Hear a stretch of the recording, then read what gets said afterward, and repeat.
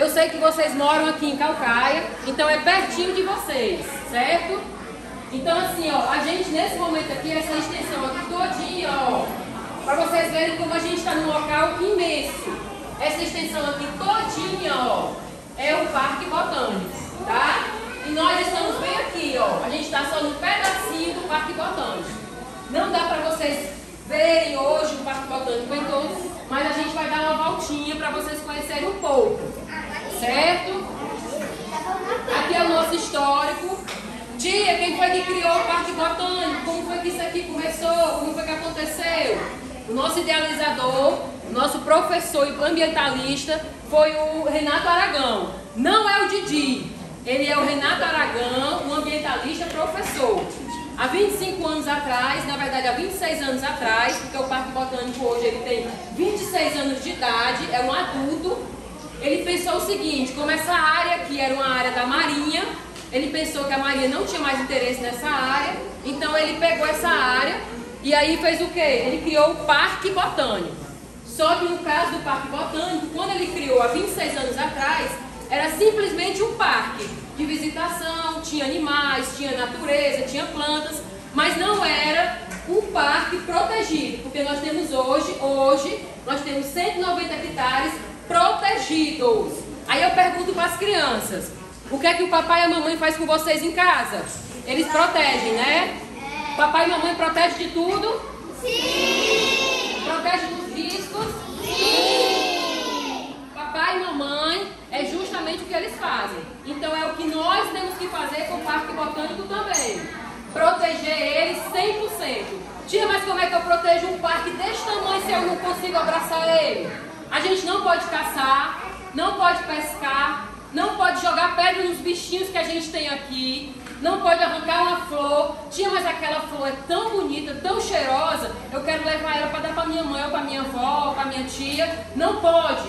A gente tem que só contemplar. A gente olha com os olhos e sente com o coração. É igual namorado, certo? Então assim? Ó, então a gente aqui, ó, a gente tem 190 hectares protegidos, 100% protegidos. Eu não quero ver nenhuma criança jogando pedra, arrancando folha, arrancando flor, pau, não pode levar nada daqui. Nada, nada, nada, nada. O que vocês veem? Só as lembranças. A gente vai ver isso aqui, leva só as lembranças na mente e volta com o papai e a mamãe depois, certo? Outra coisa, vocês estão vendo essa botinha? Sim! Aqui, ó, essa botinha, vocês são de Calcaia, Essa botinha aqui todinha é o Parque Botânico. Essa aqui, ó, essa aqui, ó, é a região dos tapebas. Vocês sabem o que são os tapebas? Não! Não acredito que vocês não sabem. É? Pronto, muito bem. Aquela mocinha ali, ó, parabéns. Ó, nós estamos numa região, além de, de ser uma região que a gente está aqui hoje, o Parque Botânico ele é pro, protegido pelo Código Florestal, nós também estamos protegidos e garantidos pela FUNAI. A FUNAI assegura que esse parque botânico aqui, ele não pode acontecer nada aqui dentro. E se acontecer, quem vai pagar o pato é a Secretaria do Meio Ambiente, que é justamente hoje quem comanda aqui, o estado do Ceará, certo? Então assim, ó, a nossa área ali, essa área todinha aí é uma área protegida. Certo? Eu conto com vocês para que vocês divulguem essa proteção. Os índios que nós temos aqui, são os tapebas, são nossos amigos, parceiros. Eles nos ajudam nessa proteção. E vocês vão ver por quê. Aqui é a nossa unidade de conservação.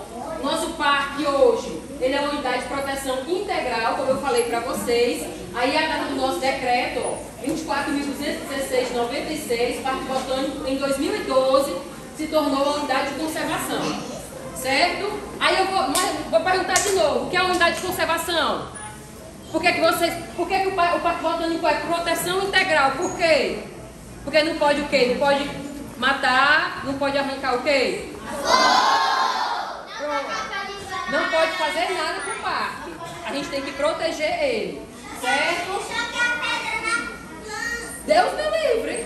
Pode. Ó, mais uma vez o nosso mapa, Não tá? pode Só pra se localizar. E aí, ó, A tia vai passar para vocês as nossas plantas. Hoje, em média, o Parque Botânico tem 186 espécies. 186 plantas, espécies de árvores aqui dentro. A gente deve ter bem mais, porque isso aí foi em 98, mas nós temos aí algumas espécies. E aí eu vou perguntar uma coisa a vocês, certo? Tá bom? Alguém, ou a mamãe e o papai também pode responder se tiver observado. Vocês observaram qual é a planta, qual é a árvore que está lá no nosso mural, lá no Parque Estadual Botânico do Ceará? Vocês viram qual é uma planta que tem lá? Oi?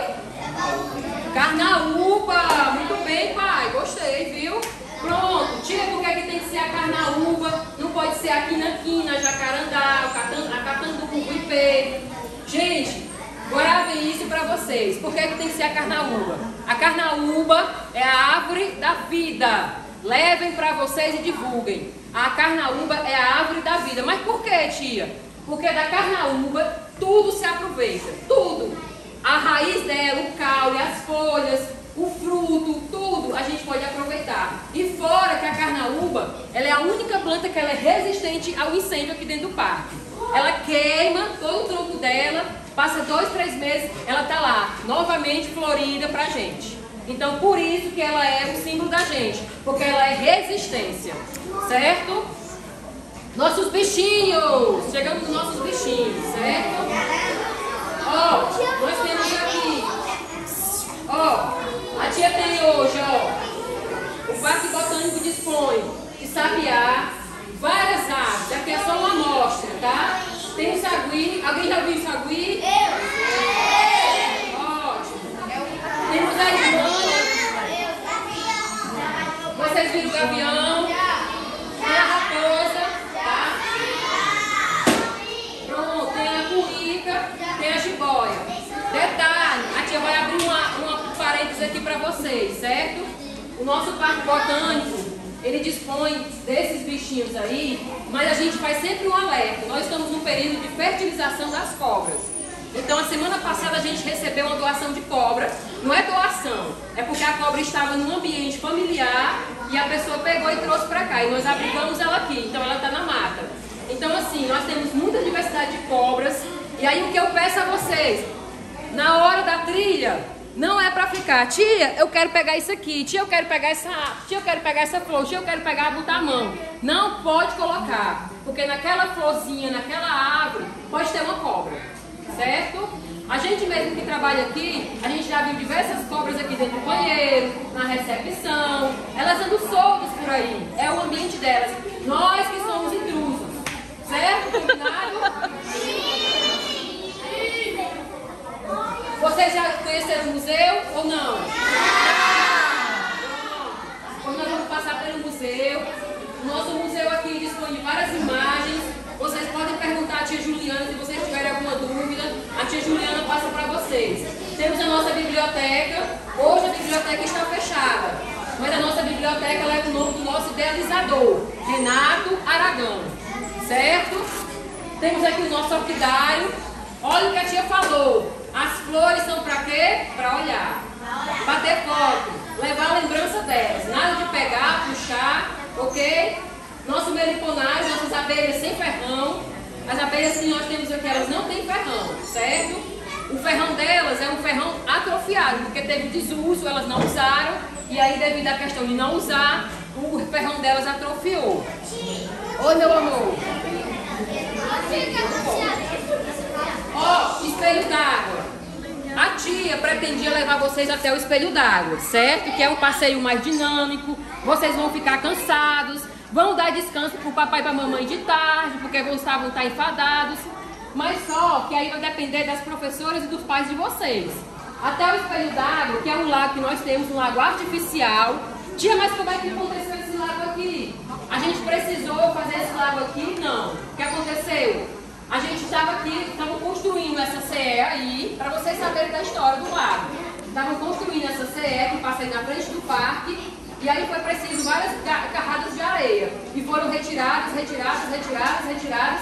Criou-se aí um buraco, e devido justamente aí esse buraco, a água brotou da, da terra, né, que a gente tem um nome disso, e aí se criou-se esse lago d'água.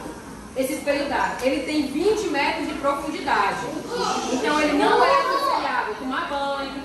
é, nadar, lavar a mão. Lá tem bichinhos, lá, lá tem cobras lá dentro dele, tem raízes. Então a gente não pode utilizar ele para poder tomar banho e lavar a mão, certo? Se a gente conseguir chegar lá, que eu acredito na capacidade de vocês, dos pais também, né, pais? Aí a gente vai conseguir ver o espelho d'água e vocês vão ver como ele é lindo, um local lindo, maravilhoso ser Oi, oi, oi, oi. Amor, vai depender do papai e da professora.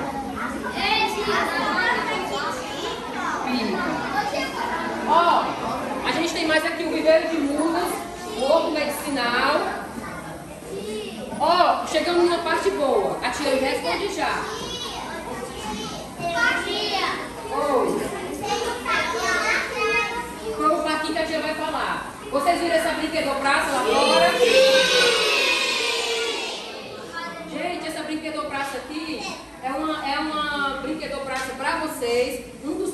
Parceiros construiu, nos deu de presente, não é, praticamente não é pra gente, são para vocês, nossos visitantes que vêm aqui. E assim, além da brinquedo praça, tem a academia ao ar livre. Certo? Pode brincar lá. Tá certo?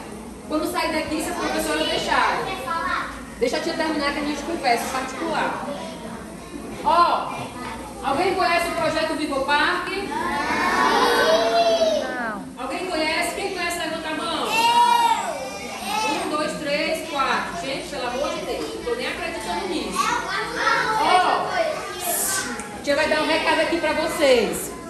Projeto Vivo Parque acontece todos os domingos no Parque Botânico. É uma programação gratuita para vocês crianças, certo? Detalhe, além das brincadeiras infantis que vocês estão vendo, tem zumba para a mamãe. A mamãe que gosta de dançar aí, se, né, se rebolar, tem zumba, tem pedalinho lá no lago, ó, pedalinho, massoterapia, brincadeiras infantis, pintura facial, tem escalada, tem um monte de brincadeiras para vocês.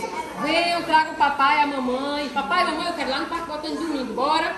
E um detalhe importante, dia, é, dia 12, quarta-feira, a gente vai ter evento aqui para criança. Quarta-feira, dia 12, que é o dia de vocês. Então eu tô convidando já para vocês virem. Certo? Ó, restrições, papai, mamãe, professor, para vocês, tá bom? Não andar fora das trilhas, ficar atento às crianças não alimentar os animais silvestres. A gente pode ver um sonho, pode dar alimento para ele? Não! Tia, por que a gente não pode dar um pedacinho de banana pro sonho, o bichinho é tão bonitinho, fofinho?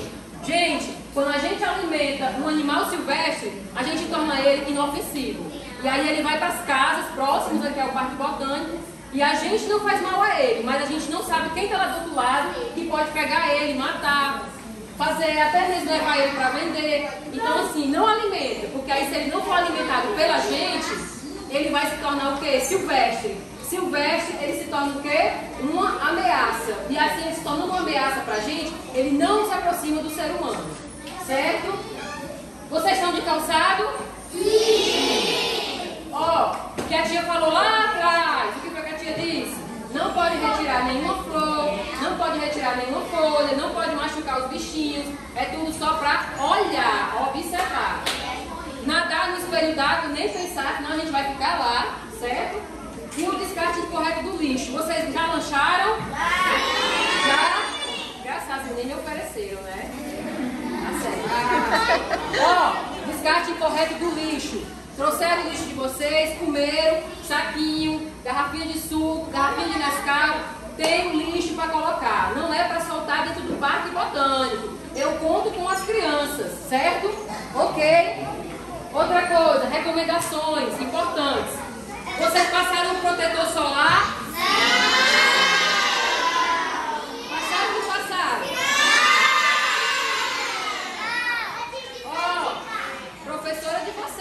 puxar as orelhas delas, viu? É, sim. Garrafinha d'água, a gente vai precisar de garrafinha d'água. Boné, eu não vi ninguém de boné aqui. Muito bem. Tirem muitas fotos, batam fotos, o papai e a mamãe, bata foto, bata foto, bata foto. Ó, outra coisa. disse, deixa a tia ir na frente. Papai, mamãe e professora vai atrás, porque a gente não sabe o que tem na frente da gente. Certo? E outra coisa importante que eu quero falar para vocês. Isso aqui é com o papai, a mamãe e com as professoras. Certo? Se vocês não seguem a gente, ó, professoras e o papai a. Página no Instagram, arroba Diário do Botânico. Todas as fotos, são aquelas fotos mais bonitas que vocês viram que o papai e a mamãe bateu, as professoras também. Marca a gente lá no arroba Diário do Botânico. A gente vai amar saber que vocês estão gostando do nosso passeio, do nosso lugarzinho aqui. Tá certo? Sim! Podemos ir para a trilha agora? Sim!